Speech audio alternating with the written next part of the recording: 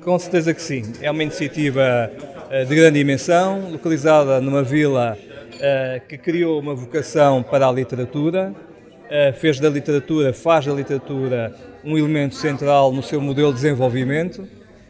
Julgo que o modo como o festival está desenhado vai resultar muito bem. Será certamente um grande festival literário a nível nacional e internacional a sua ligação com a língua portuguesa, com o Brasil, com os países africanos de língua portuguesa, vão potenciar esta comunidade que é a comunidade dos países lusófonos e esta comunidade que é uma das mais importantes línguas do mundo, a língua portuguesa, a nossa língua, e por isso eu creio que estão reunidas as condições para em outubro juntos podemos celebrar uh, uma grande iniciativa.